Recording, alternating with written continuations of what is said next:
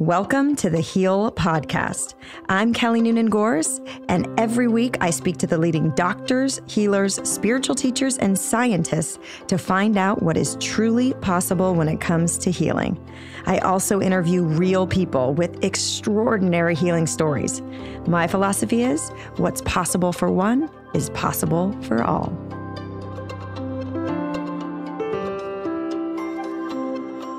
Today's episode, I think, is so important for anyone dealing with cancer or who has a loved one dealing with cancer or just wants to prevent cancer from ever entering their life. Uh, this is a very informative, powerful, and inspiring conversation.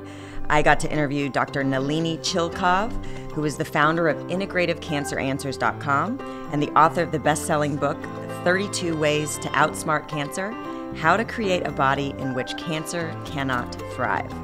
Dr. Nalini's Outsmart Cancer programs are recognized as the most comprehensive, science based, safe, natural programs for supporting cancer patients, cancer survivors, and those who do not want to get cancer at all.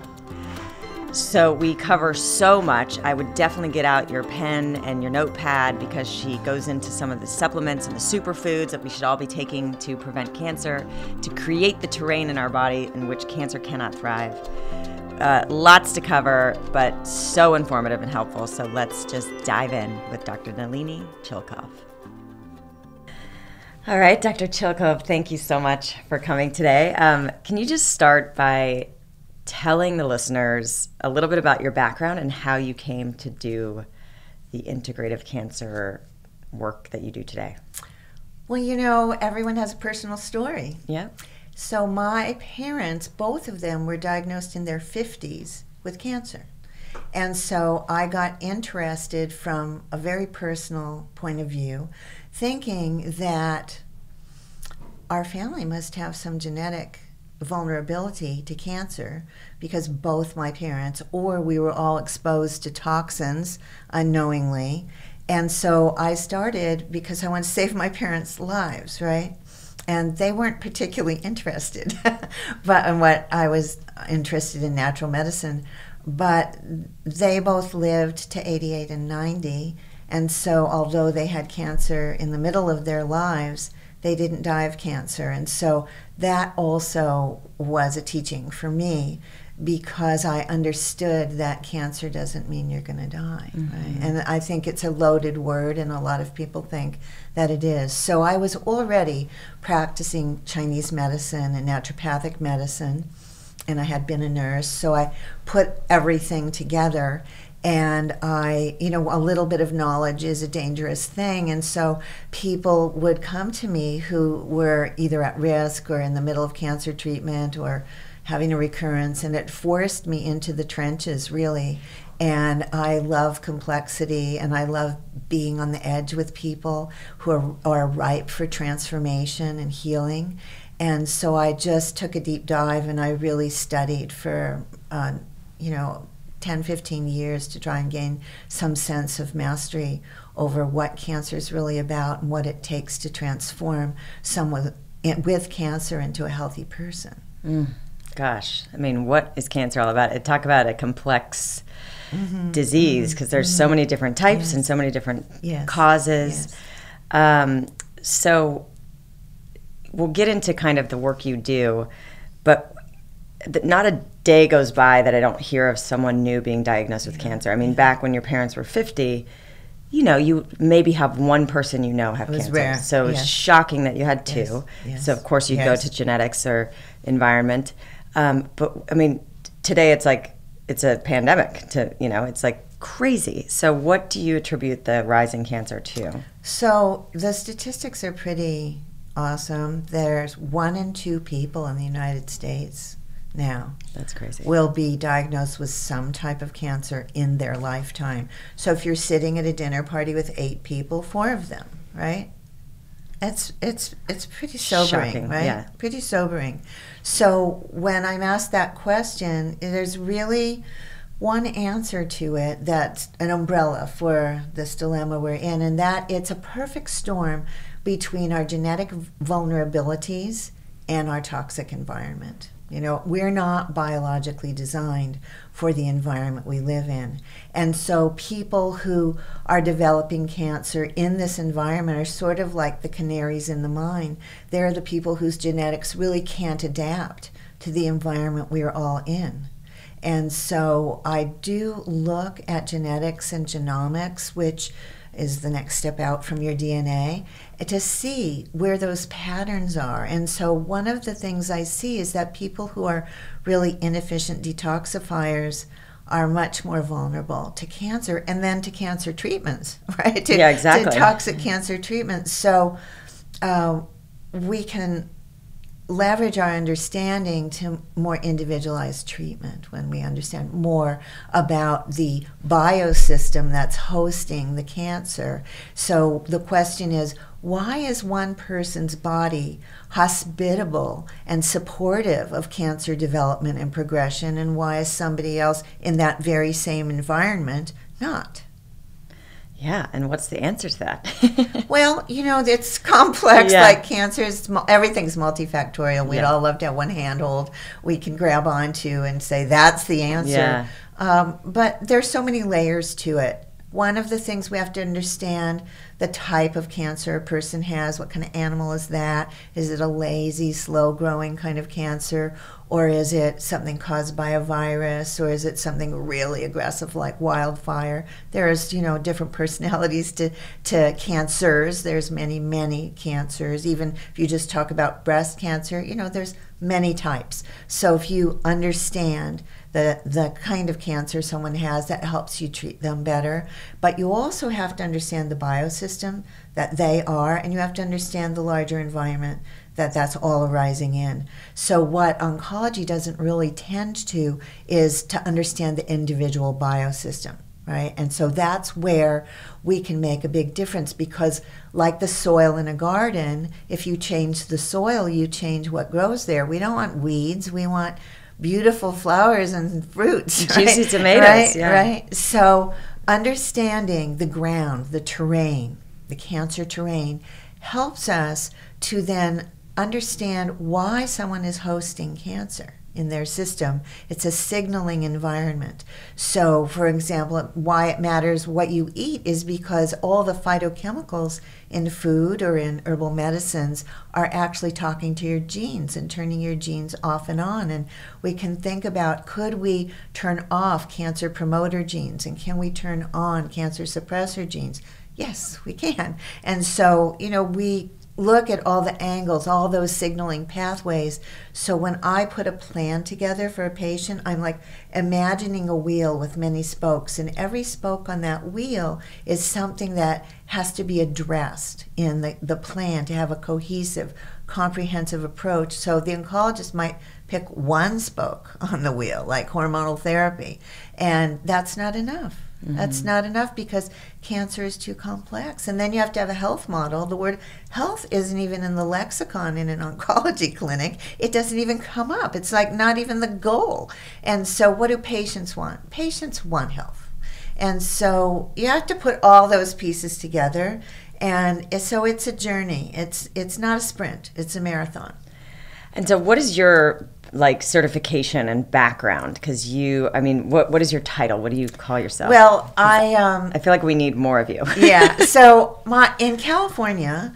I am a, a, doctor of Oriental medicine and acupuncture, which allows me to be a primary care provider. Okay. And so that's not true in all states, but I can practice independently of physicians and write lab orders and and treat patients independently, not under anyone's supervision.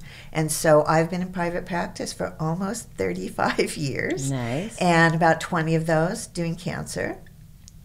And before that, I my degree was in cell biology and I did some nursing. So I actually put together the sort of traditional wisdom and healing traditions with modern science.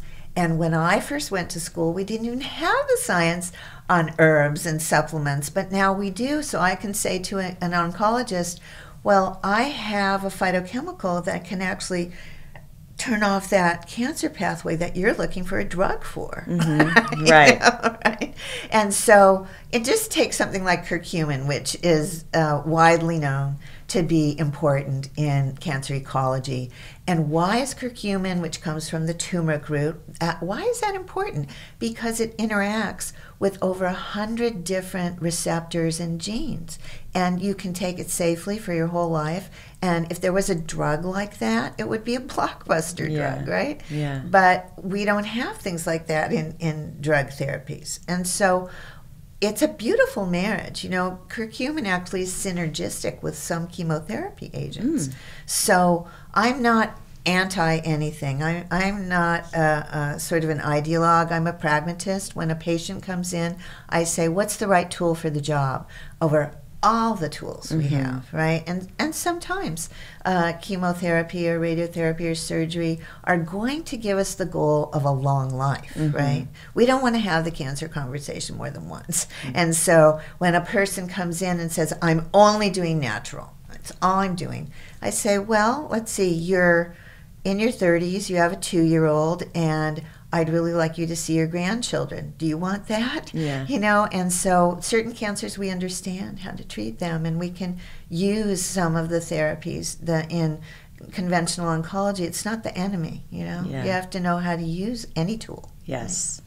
And that's, you know, I love the wheel and the spoke because, yeah, chemo is one quote unquote weapon, right? But you need a whole arsenal and you have to treat the patient holistically and take into account emotional, Yes. mental, spiritual, Yes. and the Yes. fact that you're putting chemo, it's, it's going to affect healthy tissues and tumor, ti- you know, as well. So you have to make sure that you protect the health in, in, in how do you say, um, encourage health and thriving and Absolutely. So, you know, we leverage the fact that tumor cells are markedly different than healthy cells, which is why you can give somebody chemo and they don't die from the mm-hmm. chemo is because the tumor cells are much more vulnerable. And so Okay. a lot of a lot of patients feel like the treatment is the enemy, but cancer is the enemy. Chemo won't kill you, cancer will kill you. And so it's really important to understand that you could just be open and maybe have a better solution. And now that I've been in practice 35 years, I have to say at the beginning I was don't do any of those therapies, they're too toxic. And what I've actually seen is that if you have a complex cancer, putting the best of both worlds together is often what's going to give you the better solution. And that a lot of people who try to do it 100% naturally often recur or die. Mm-hmm. And I wish that wasn't true. I wish I wasn't saying that, mm-hmm. but but for some patients if you have a lot of tumor burden, there aren't equivalents in natural medicine and we don't have time for the slow action of of natural medicine for all patients. So each person has to be really examined and have an individual plan. Individualized medicine, no matter what your diagnosis, is how you get to the best outcome. Yes, exactly. Custom fit for you. Yeah, yeah. Um, and the same goes the other way. Most people who just bombard their system with Western and don't change any of the Right, environment, right, whether it's mental and physical and diet and lifestyle, that created this cancer terrain, it will probably recur as well. So it's almost necessary to have a full overhaul and use a blend depending on what stage and what type. I ask my patients to do really hard things all the time. And so I actually vet who I accept as a patient because if you want to have an, accept, an exceptional outcome and not be part of the bell curve of expected progression or Statistics. or uh, you know your risk of recurrence if you don't want to be in those statistics then you do have to transform and as you know healing is transformation and so I vet my patients because I tell them I'm going to ask you to do hard things. I'm going to ask you to engage in self reflection and self inquiry. I'm going to ask you to change your lifestyle and your diet and maybe some of your relationships and habits. And so if someone is resistant to that, I say, think about it. Maybe you'll come back later. And some people do, you mm-hmm. know? And so I accept certain people into my practice whom I feel are a good fit for what I'm going to ask of them. And therefore, I have a lot of successful cases, but you have to really understand what it takes. Yeah. You know, what it really takes. And it takes an all-in mentality, as we were talking about, Yeah, and our yeah, mutual friend yeah, Stacy has that yeah, all-in mentality. Yeah. Um, what you know, you you put together the resource of the integrativecanceranswers.com. You have a lot of information there, but how do we? Do you have any ideas on how to like for someone that is listening and says, "Well, I can't afford Dr. Nalini. What do I do? What are my options?"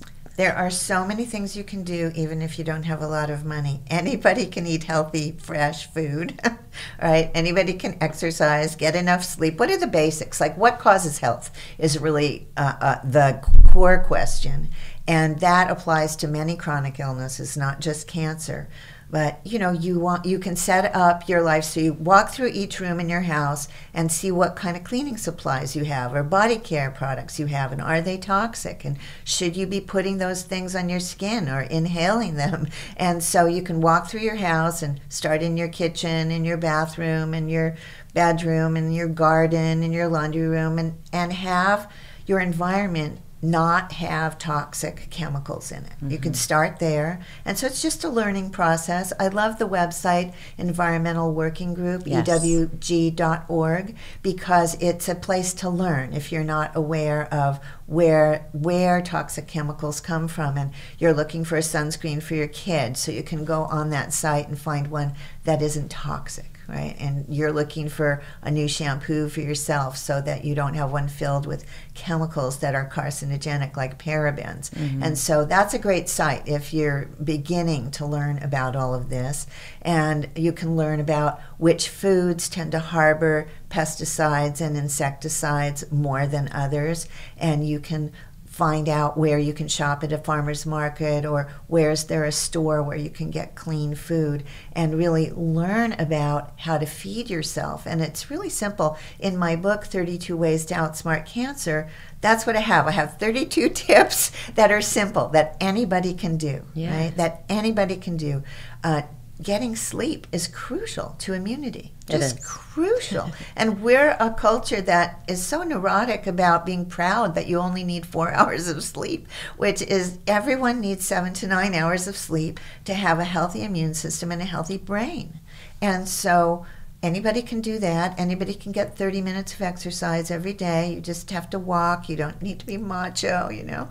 And so these lifestyle changes actually have more impact than any drug. Yes. You know? So anybody can do that. And then you can learn like what are the anti-cancer superfoods so that you eat those every day. So think about the garlic and onion family. Think about the broccoli and cabbage family. Those foods have phytochemicals in them that are potent in interrupting cancer development at every stage of development you can just fill your diet with a rainbow of colors because each one of those plant pigments actually is a phytochemical that turns genes on and off. So that's why it matters what you eat because you can turn genes on that suppress cancer and turn genes off that promote cancer by what you eat, by if you sleep, by managing your peace of mind and your stress. You can learn self regulation. And so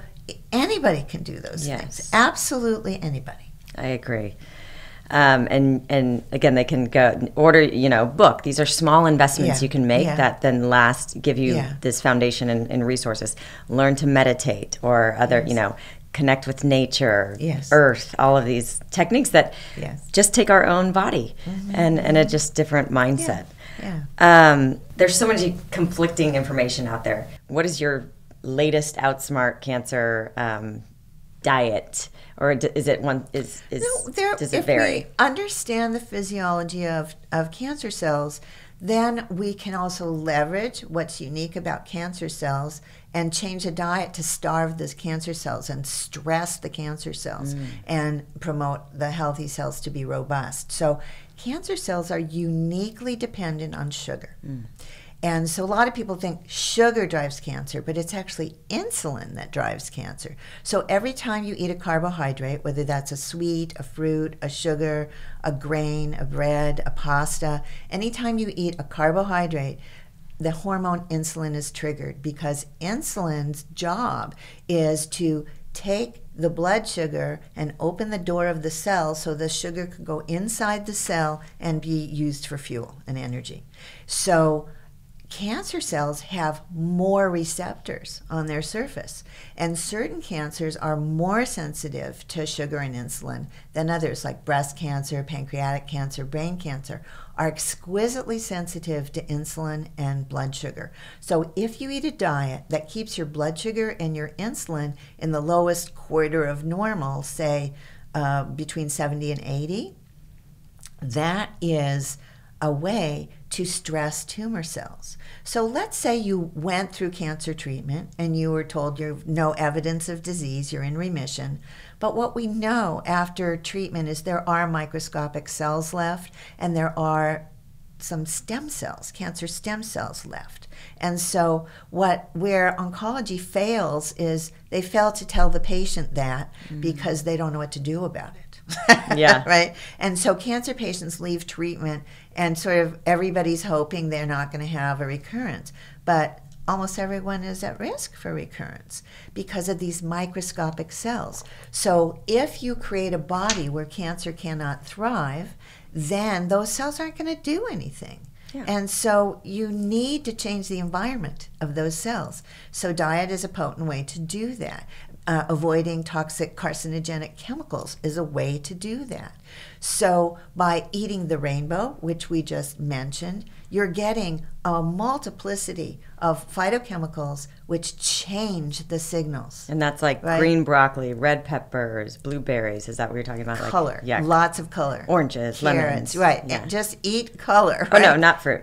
Well, it depends on the patient. Like if someone has a sugar dependent insulin dependent type of cancer, but they have a low tumor burden or they are um, very thin, they don't have diabetes risk in their family. There's wiggle room, so I'll say eat limit your fruit to a cup of organic berries a day. Mm-hmm. And you think about the sweetness on your tongue, and that'll tell you how glycemic or how sugary a food is. It's not rocket science, you know? You don't need to measure it. If you put a banana on your tongue, it is a lot more sweet than putting a blueberry on your tongue mm-hmm. and or putting an avocado on your tongue. So you can tell about how food's going to affect your blood sugar by tasting it right? Mm-hmm. So our bodies are such reliable feedback mechanisms, but we have to listen, right? We're so disconnected. Mm-hmm. And so listening to your body is part of having health, right? You need to know if you're hungry, if you're thirsty, if you're tired, right? Yeah. If you get a headache after yeah, eating certain right. foods. Right, exactly. So um, so we do like to eat a low carb diet, and there's an enormous amount of research on low carbohydrate diets combined with intermittent fasting being profoundly powerful in reducing recurrence. Mm. Have you seen or are you aware? Um, so, my friend just went through chemo and, and all the things, um, and as well as herbs and supplements and, and you know some lifestyle changes to heal um, colorectal stage four cancer. Yeah. No evidence of disease and then recently had a seizure and now she has lesions on her brain. Mm-hmm. I don't know the quite the extent yeah, of that. Yeah. But um, I, another friend had a different cancer that came back as a different cancer. Yeah. Is there a chance that the new cancer is a result of the chemo, the treatment? Yes. so so what's true is if you have aggressive treatment like chemotherapy, some of the cancer cells are so smart that they figure out how to survive, and we call those chemo resistant cells. Mm. So, you know, you'll get a scan or look at your tumor markers as you go through treatment, and your oncologist might tell you, you know, you're you're in remission, but in fact, there are these resistant cells. Anytime you have an aggressive therapy, cancer cells are really smart, which makes it difficult to treat. Mm-hmm. But also, if you're diagnosed with a lot of tumor burden, then you actually don't have one kind of cancer cell. You have a really diverse population of tumor cells, and so that makes it complicated to treat also, mm-hmm. which is why if you have chemo, you get a cocktail of more than one agent to try and hit those different types of cells. But that's also why it's useful to include herbal medicines specific supplements so that we fill in the gaps. Like uh, oncologists, because their toolbox is so toxic, mm-hmm. they could do a little something, you know? But we can, if we think about a wheel with many spokes and all the complexity all the complexity and all the factors, then we could fill in the gaps on that wheel of what the oncologist isn't doing, like managing your blood sugar, managing inflammation, optimizing your vitamin D, making sure you don't have excess copper, etc. Right? Mm-hmm. And so we can do the things that the oncologist isn't doing, or uh, almost all cancers create excessive blood clotting. Forty percent of all cancer patients have a blood clot. Wow. And and can die of a blood clot instead of their cancer. Oh, I did not and so a lot of people don't know that. So I monitor the blood clotting levels in my patients and I will give herbs and supplements that keep the blood from clotting excessively. But if a patient actually develops extreme risk of, of a blood clot and a, a, a a blood clot can give you what's called a pulmonary embolism, mm-hmm. which can block your airways and you die of a, a, stroke in your lungs, essentially. You could have a brain stroke, you could have a heart attack. So that's a blood, that's what a blood clot does. Yeah. And so that's not anything a cancer patient should also experience. Yeah. So you can eat a diet that is less prone to sticky, clotty blood. You can make sure you're hydrated so your blood is not so thick. You can get up and move every hour, right? There's lots of things you yeah. can do not to have that happen. And what I've done, often I have more contact with the patient than the oncologist does. And so I'm observing them more closely. And I had a patient come in one time who had a chain of blood clots ab- above her port in her arm, oh which was high risk, right?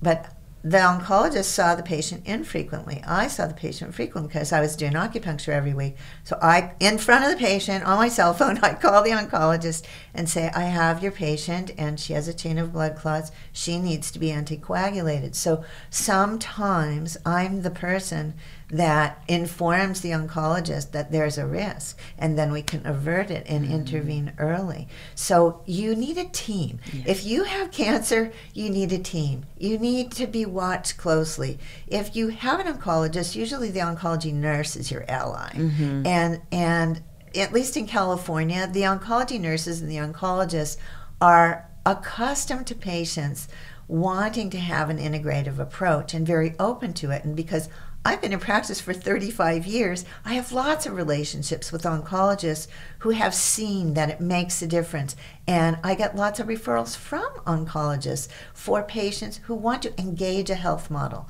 So it's very important to not just have a plan for your disease. You need a disease expert for that, but you need a plan for your health. Mm. So I'm the health expert, one of on the team, and I also say to patients because Oncology is so disenfranchising to the patient, it's so disempowering. I often say to patients, you need a team, but you're the head of the team. Mm. You are the head of the team. We all work for you. And nobody can do anything to you or your body or tell you to show up on a certain day if you don't want to. It's your choice. And my goal in my first visit with patients just decrease their anxiety and give them back their power. right? Yeah. Because that's what produces a lot of the anxiety is somebody just told me next week I'm starting chemo and I'm not ready to do that. Right? Yeah. Or my oncologist has spoke to me like I'm a stupid child well, then that's the wrong doctor for right. anybody. Yes. Right? No one has any business talking to another person that way. Especially right? in that situation. Yeah, when you're so yeah. vulnerable. Exactly. Right? And so I think it's really important. The other thing I say is if you're diagnosed with cancer, it's cancer's not urgent care. Cancer's not an emergency. Cancer is a chronic illness. And it took 10 or 20 years to develop a tumor. When you find it, it's been there 10 or 20 years. And so if you take another two or three weeks to take a breath, get a second or third opinion, make sure you have the right doctor, make sure you have your health plan in place, make sure you're you got a circle of support around you. If you need to get your kids covered, you need to get your business covered, you just need your psyche to catch up yeah. with what just do a little happened, grieving, right? exactly. Right. Then I tell people you can take time. You don't have to start next week. It won't make or break your outcome Yeah. And That's people need to so important. It's so important because there is an urgency to oncology, Yeah. especially if it's stage three or four.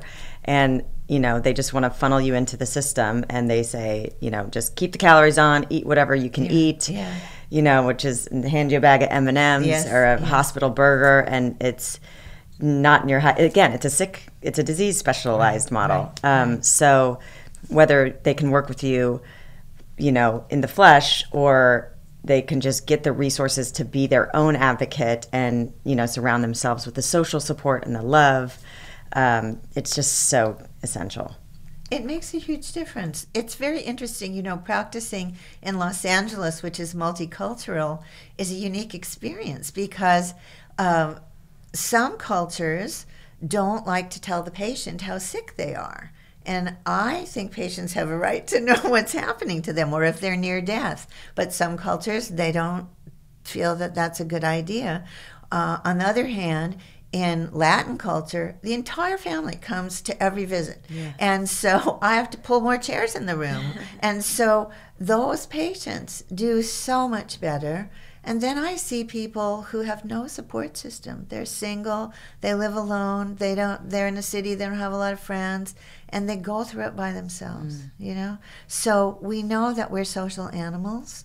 And so being in a support group, even if it's an online group, makes a difference mm-hmm. to your stress hormones and your sense of belonging and your sense of not being alone going through something like this. So, a lot of patients who are very independent, self sufficient people, their learning curve is to ask for and receive help. Yes, exactly. That's like their goal. That's well, that's I mean, part that's of their the lesson. healing. That's part of their healing. That's right, Exactly. Right. Even just like I know for my type, you know, I don't want to bother anyone, especially if Uh-huh. I'm not feeling well. So God forbid I would have to do chemo. There's a part of me that would probably be like, no, no, no. I'll have a driver take me, but I just want to do it myself. I don't want anyone to see me like that or be around people when I'm not feeling well because then I won't be at my best or whatever. And so many people just say it's so helpful and important to have someone there holding your hand It is. It is. you know and it is. and we talk about that in heal just the research is that social support Yes. increases life by like over yeah, 50% it's dramatic. It's Yeah. dramatic. Yeah. Yeah. um, so on that same thing and this could be a total far out there idea but just just some of the spontaneous healing um, you know stories that i've heard one guy was sent home to die is this um, he was actually a chinese man of st- terminal sta- stage 4 cancer. And um, he started playing his violin again and he started watching the sunrise because he just wanted to soak up life and do the things he enjoyed. He- one of the things was like he just made sure to drink clean water.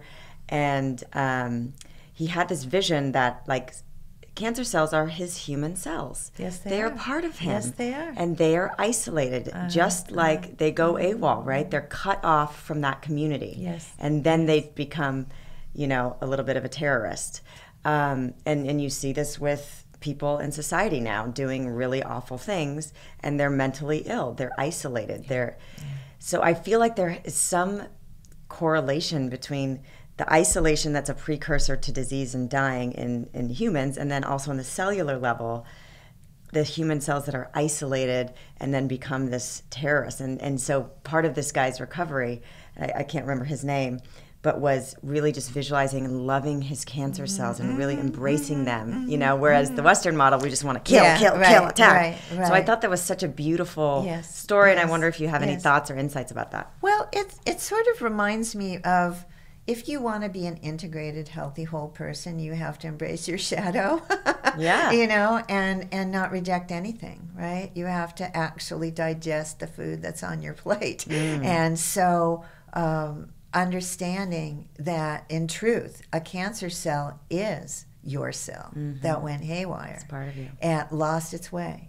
And so uh, that's a really different relationship to slash and burn, you know, and rejection and push away, you know. And so think of the difference in the state that you're in when you feel open, loving, and accepting to whereas you feel frightened and you have to get rid of something. Mm-hmm. You can't tolerate it. Mm-hmm. So, I mean, you just, your body, it, you, the tension in your body, your breath, your heart rate, but then your stress hormones. Stress hormones have such a huge impact on our immune capacity. And that is really what we have to fight cancer with. That's what we have. Are there any new, like, uh, what's your idea about or opinion about immunotherapy? Because on in, in principle, it sounds amazing. Where it's Yeah. it's it's drugs that boost our immune system Well, to fight. So It's very uh, idealistic and, and magical thinking dangerous.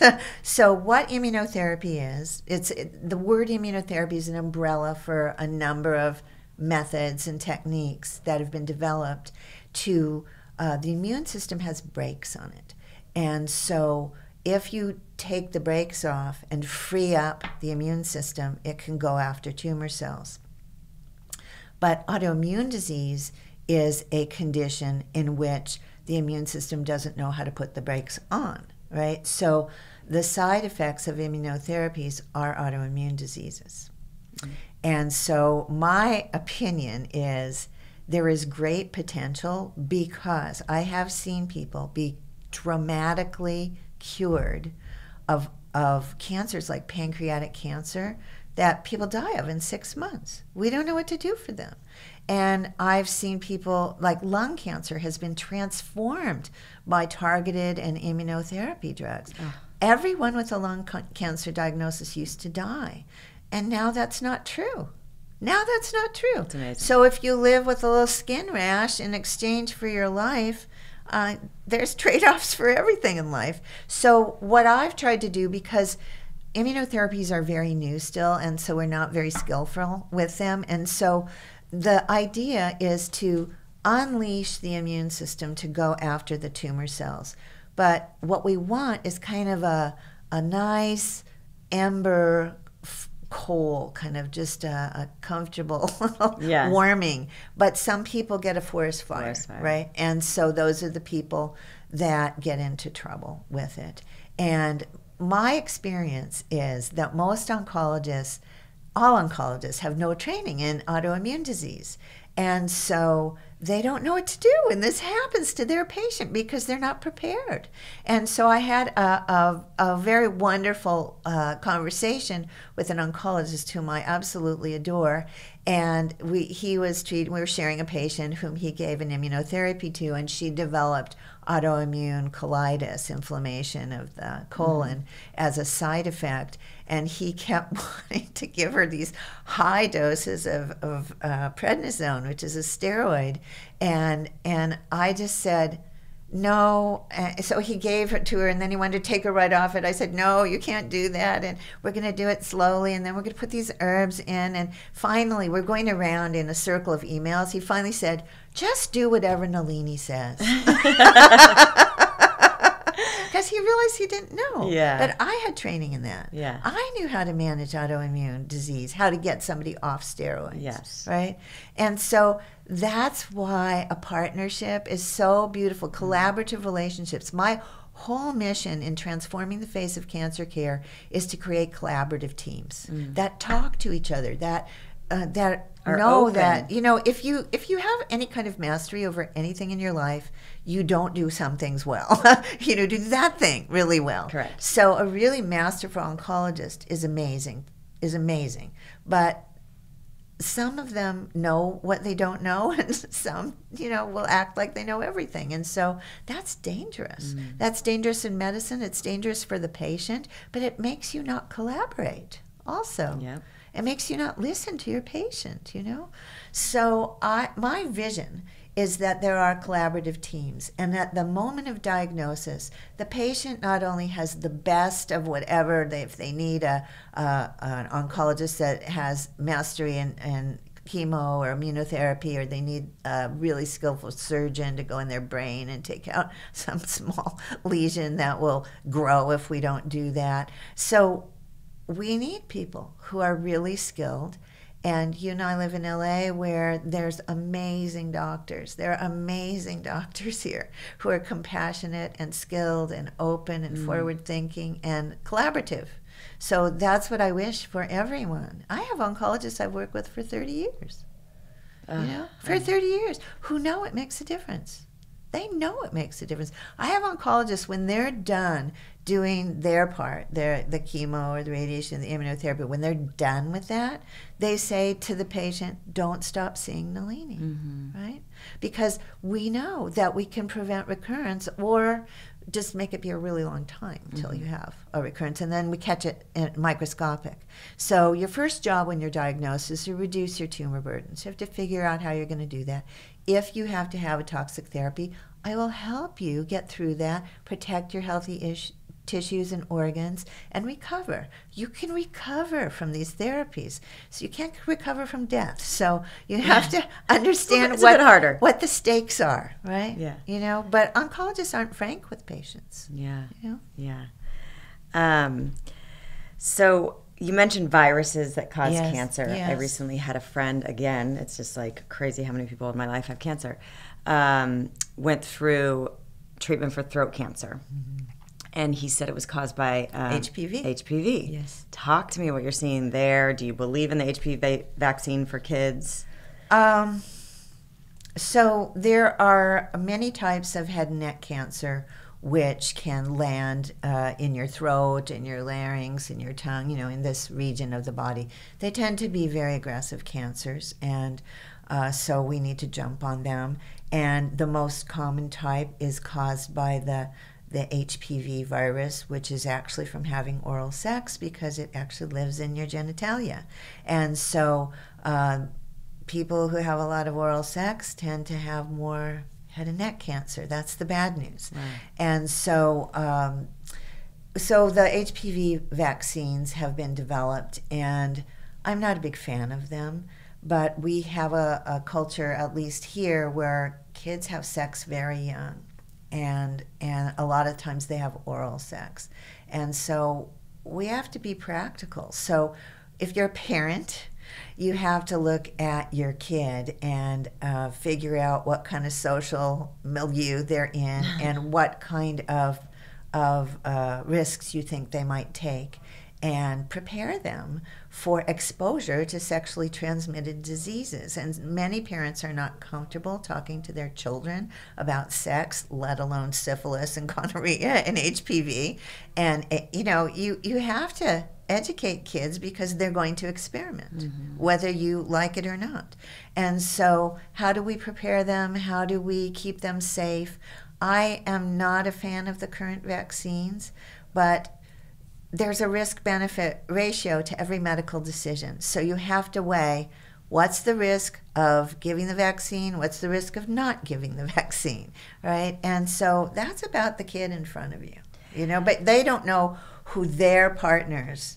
What, what the behavior of the kids they're experimenting non-symptomatic, with, right? you Right. know, STD. So it's very tricky, and so um, I think that you also need to sit down with a an open-minded pediatrician and have that conversation. And there's always new research. There's always safer methods coming out, and mm-hmm. so you want to be well informed, and you want to have a physician that will help you as a parent mm-hmm. make a good decision for your child. Vaccines aren't inherently good or bad, they're a tool. Mm-hmm. And so you have to really, I, I'm a fan of individualized decision making in healthcare. And so let's say you have a kid who is immunocompromised and can't mount a response to an infection. Well, that's a high risk kid. You know, mm-hmm. everybody's going to try sex. So Yeah. if you have a kid who's very vulnerable to infection and can't fight off infections, well, well, maybe the vaccine would protect them from a, a potentially life-threatening infection. Yeah. It's very tricky. It's very It's very tricky. tricky. Again, this Yeah. is so complex, which I love that Yeah. you love complex. Um, I'm just wondering, like, as far as terrain is, because we talk about terrain as, as part of your, um, you know, Yes. outsmart cancer. Yes. It's, it's creating a body Where in- cancer cannot thrive. cannot thrive. It's so good. Yeah. So similar with HPV. I mean, it it's passed around like pepperoni pizza in college. Yes, like it's yes, everybody yes, has touched it at some point Yes. But there's going to be certain people that have HPV showing up on tests that never develop cancer. That's right. That's right. Is that because they have a healthier immune system and a healthier terrain, or is it well, again terrain, complex? terrain is um, important to every kind of illness we are vulnerable to. So let's just take infections. So if you have more sugary blood, what do microorganisms live on? Sugar. Sugar. So diabetics have more infections because they have more sugar to feed little organisms in their body. So if you keep your blood sugar healthy, you have less infections. You have better wound healing. If you eat enough protein, your barriers of your skin and all the linings of your respiratory and digestive tract are a better barrier. Uh, if you have better hygiene, I mean, one of the best ways to prevent infections is not medicine, but washing your hands, having clean water, you know, washing your food, you know, the public health does more to prevent infections than medicine does, mm-hmm. right? And so if you have just an educated patient that knows how to be more safe, right? Mm-hmm. So with kids, you know, they should wear condoms. You know, they should wash their hands. You know, so you know, it's um, some things are very, very basic, but a person who's deficient in protein will have barriers that aren't barriers that allow that have breaks in the barrier and that allow in organisms to invade. And so, uh, good protein status is very important. And uh, as people age, they actually need more protein because part of the physiology of aging is we lose our muscle mass and our bone mass and our brain mass, and we need more protein to maintain the mass of our body. Yes. Actually, and so a lot of older people don't eat much protein, and also kids can you know have an irregular diet, and so you have to see. Also you know there's a, a, a kind of a fad of fasting these days. Well a fast is a low protein diet. If you're over 60 you shouldn't do it because you'll just lose muscle mass. Mm. So you know you have to be educated to so not everything's healthy for everybody mm-hmm. right? If you already ha- have aged and you've lost a lot of muscle mass please don't fast right? Do something modified where you're still taking in protein but you're not taking in a lot of other calories there's yes. intelligent ways to do uh, to switch your physiology to improve your immunity like intermittent fasting where you fast for 13 hours between tonight's dinner and tomorrow's breakfast which won't cause you to lose muscle mass but will cause your immune system to switch Yes. into being more robust and will also drop your blood sugar and your insulin and cause you not to get diabetes and to have a more normal metabolism for carbohydrates. And so uh, exercise also has such a big impact on immunity and blood sugar. So now we're talking about the basics Yeah, again, right? exactly. Right? And the percentage of body fat you have determines if you're going to get uh, certain types of cancer because so in the United States we have a lot of obesity. And so people have too much body fat. Well, the fat is a is a hormone factory. The fat is an inflammation factory. And so breast cancer patients, if they're obese, they're much more likely to recur than a lean breast cancer patient. And so there's a moment when someone has finished treatment and they're ripe to change their body, right? So body composition changes risk. Um, so I know again it's bio individual, and you kind of named off some of the super cancer fighting superfoods like turmeric and uh, curcumin and, and the rainbow of foods. But supplement wise, like vitamin D, um, are there like a handful of things that just blanket people concerned about cancer or have cancer yes, should implement in their body? Of course. So um, let's just talk about like what would be a foundation plan. Like what supplements would you want to take to have a good foundation? So the way I think of them is like what are the nutrients you need in your your in the ground, and then what things are targeted to, to cancer. So probiotics, number one, we all need a healthy microbiome, and you can eat fer- fermented food in your diet, and it's just a condiment, you know, a teaspoon of sauerkraut or yogurt or kimchi, something fermented. All all traditional uh, foods have something fermented. Every culture has some kind of fermented food. yes. I mean, cured alls are, are fermented food. You're looking for healthy bacteria to inoculate your gut, right? Eating a high fiber diet gives those healthy bacteria fuel to colonize in your gut. So having a plant strong diet is very important. So you want to have a multivitamin that has methylated B vitamins in it, and if you have cancer risk, free of iron, free of copper. And if you're a menstruating woman, then you need some iron, and you need to not have excess iron. Okay, that's because cancer cells use copper and iron for their own growth. Hmm. If you're uh, done with menstruation, you don't need iron. Men don't need iron. Then you want to have some vitamin C. What we have learned in, in, more recently is that taking high doses of vitamin C actually is not very useful. The gut can absorb about 500 milligrams at a time. Hmm. So if you want to take two or three thousand milligrams a day to boost your viral resistance, to boost your cancer resistance, to make your linings and coverings more healthy, then you take it at 500 milligrams at a time throughout the day. Otherwise, you just pee it all out or you get diarrhea from it. Omega 3 fatty acids, very, very important. Not only do they reduce inflammation and blood clotting, which we talked about, but they actually cause cancer cells not to be able to stick together. Mm-hmm. And so, what's a tumor? It's a bunch of cells that are stuck together. So, the adhesiveness of tumor cells is decreased by having uh, omega 3 fatty acids. About 2,000 milligrams a day is a good dose. And then, um, vitamin D is very important. Vitamin D is one of those great multitaskers. It's actually considered to be a hormone. And so, hormones are substances that act in many different places in the body. Vitamin D is an immune modulator. So, a cancer patient or a person at risk should have a blood level of vitamin D of about 75. Most physicians think 30 is a good number. so 75 so, yeah, 75, 75, is the latest research. Okay. okay the latest research. Uh, magnesium is an incredibly important nutrient for every cell. Women tend to be more deficient in magnesium than men do because of our, our hormones and our physiology. Uh, so I like magnesium glycinate. It, it is the form that's the most absorbable. The cheapest is magnesium oxide, but you only absorb about 10% of it. Magnesium glycinate, you can absorb almost 50% of yeah. it. So it's significantly different. And so that's very important. So we have a, a multi, vitamin C, omega 3s, vitamin D, a probiotic, and then women need bone minerals, right? So if you're over 35, you need bone minerals. Oh. And so that's very important so that you don't get osteoporosis later in life. So at 35, you start losing bone mass. Okay. So you need to do something about it. What is that, that calcium or? Uh, uh, calcium and magnesium are the, and vitamin D are the main okay. nutrients. And um, soy isoflavones actually are really powerful in preserving healthy bone. So, and exercise is yes. important too. Adequate protein is important. People think it's just minerals, but the collagen that is the matrix of the bone where the calcium gets laid down, you need protein to have healthy bone, not just minerals.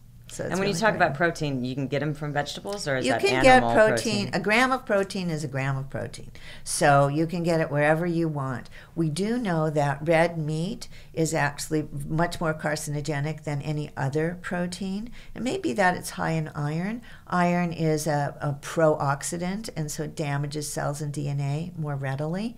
That's why we also withhold excess iron. Um, vegetarians have less cancer than meat eaters. But I don't ask all my patients to be vegetarians. It's it's harder to do and since I'm asking patients to eat low carb, it's really hard to eat a low carb vegetarian or vegan diet. So I say plant strong.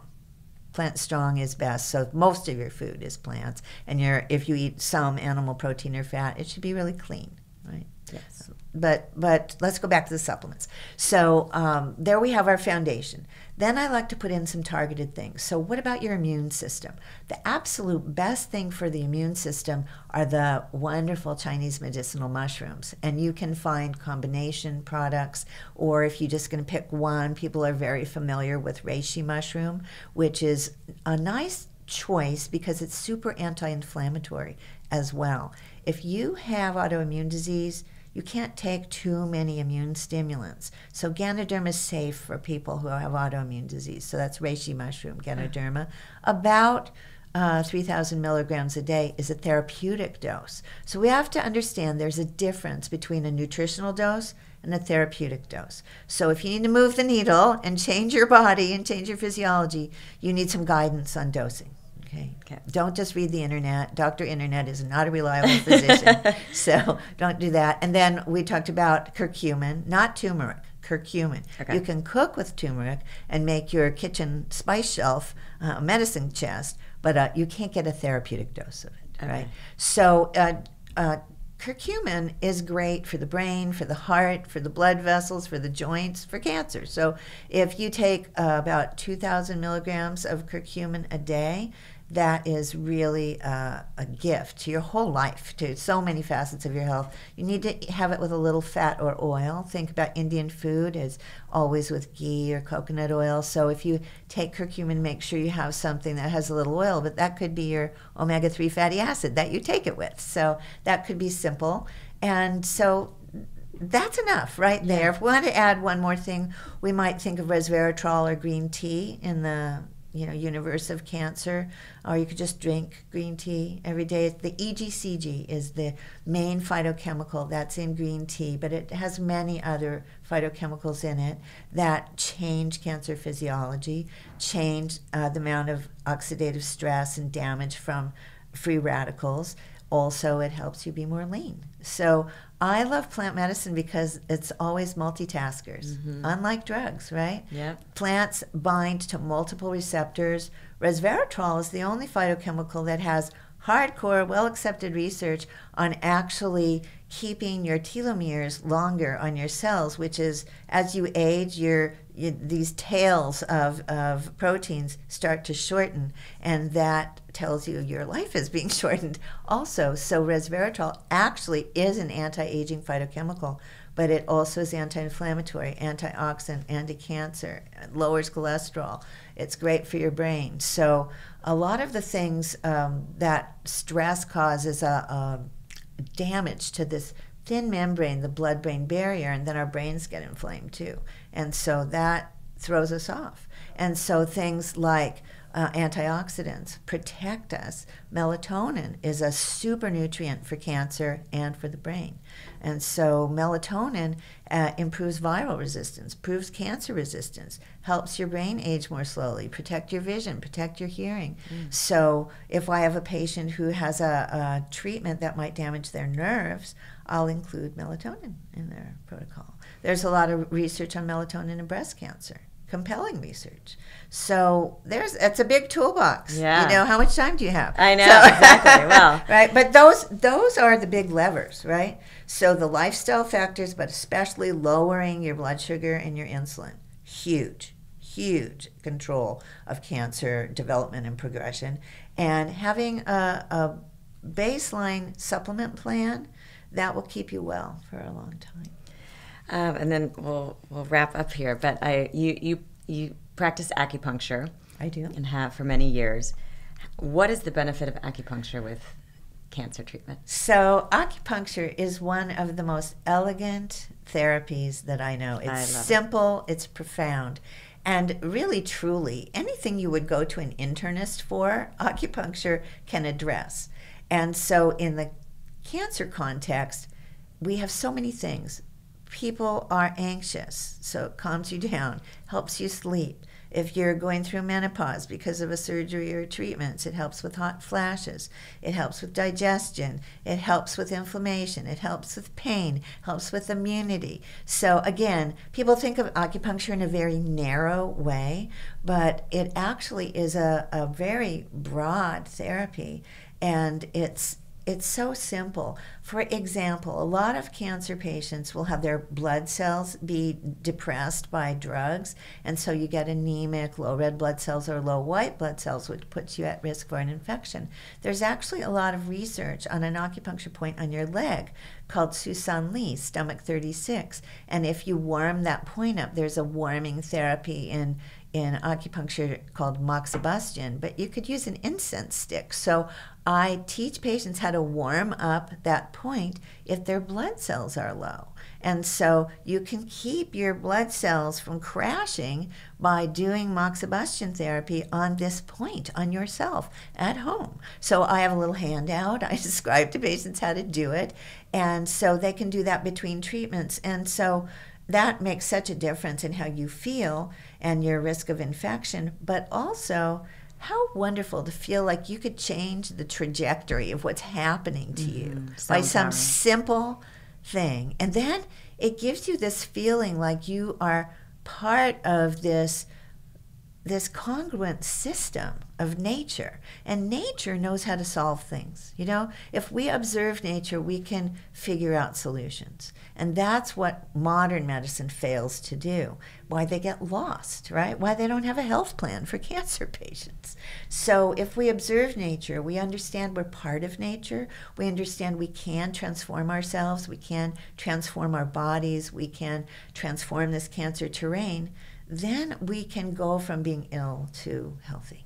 Ah, oh, it's so beautiful. If we observe nature, nature has all the solutions. It does. And it's a map. That's what it's ancient wisdom and Eastern mm-hmm. medicine and mm-hmm. all of mm-hmm. these, yes. you know, it just, oh, yes. it's the combo is the key. Yes. yes. Oh, thank you so much for sharing your wisdom. I know you have a gift for um, I do, the listeners. I do. So the one of the questions I always get asked is, "What supplements should I take?" Yeah. Which is what you asked me. So I have put together the supplements I recommend at every stage of the cancer journey. So if you would like to download that as a free gift, it's at integrativecanceranswers.com, integrativecanceranswers.com slash heal. And you download it and start using the supplements and changing your life. Yay! And, and get your book.